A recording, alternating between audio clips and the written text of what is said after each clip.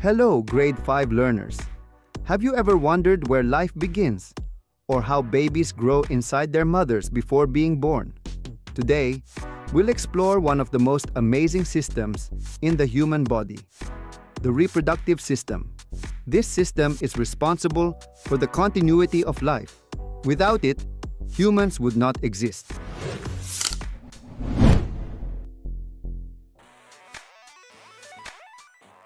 Before we dive into our lesson, let's do a quick review. Look at these pictures. They show the stages of the human life cycle. Can you arrange them in the correct order?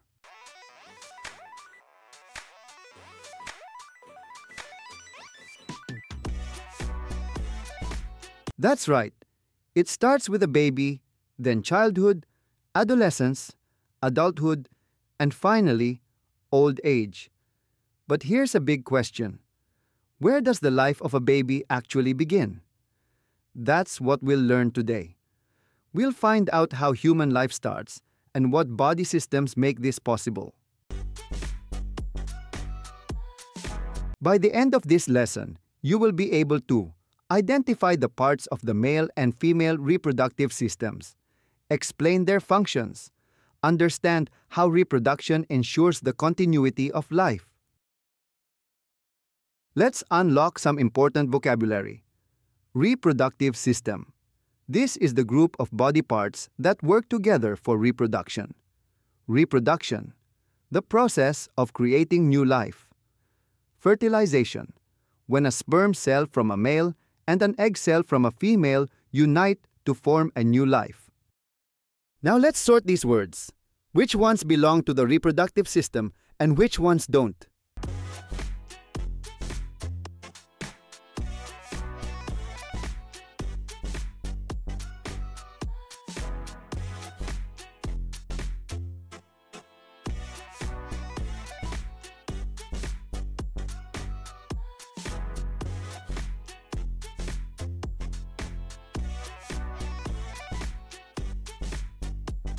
Excellent!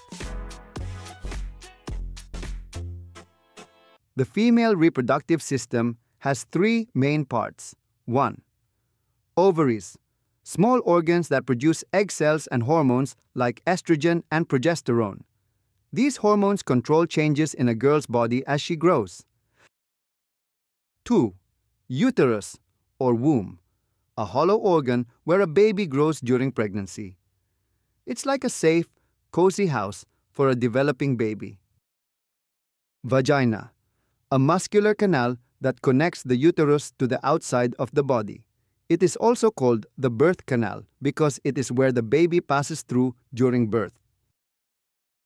Think of the female system as a special home, where eggs are kept, where babies grow, and where life begins. The male reproductive system also has three important parts. 1. Testes. These are oval-shaped organs inside the scrotum.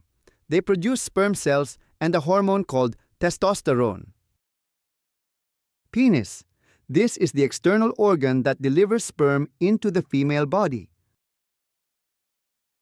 Prostate gland. This makes a fluid that mixes with sperm to form semen. This fluid protects and helps sperm travel safely. Now let's compare.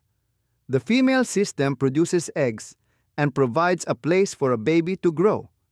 The male system produces sperm and delivers them into the female body. When the sperm and egg meet, that's when life begins. That's why both systems are important, like two puzzle pieces that fit together to create life. Here's how reproduction works. 1.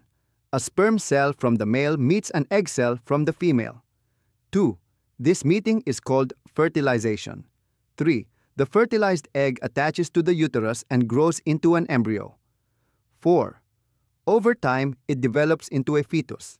5.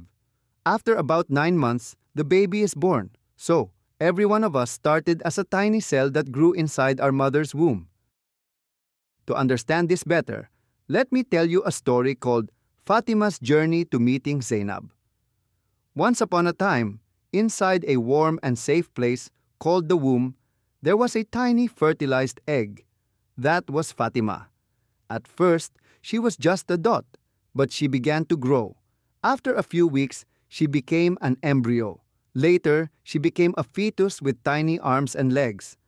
As months passed, Fatima grew bigger and stronger, until finally she was born as baby Zaynab. This story shows us the beautiful journey of human life, from a single cell to a newborn baby. So, what have we learned today? The female reproductive system produces eggs and nurtures life. The male reproductive system produces sperm. Together, they make reproduction possible, ensuring the continuation of life.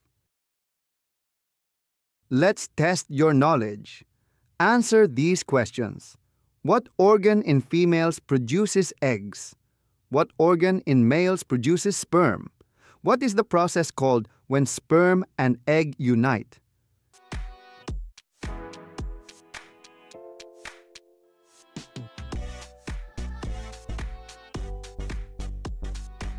Great job!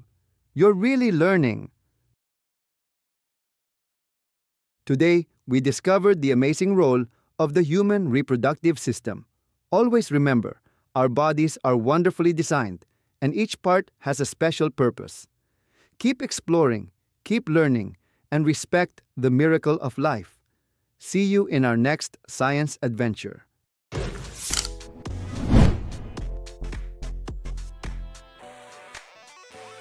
Now, under the guidance of your teacher, complete the following activity.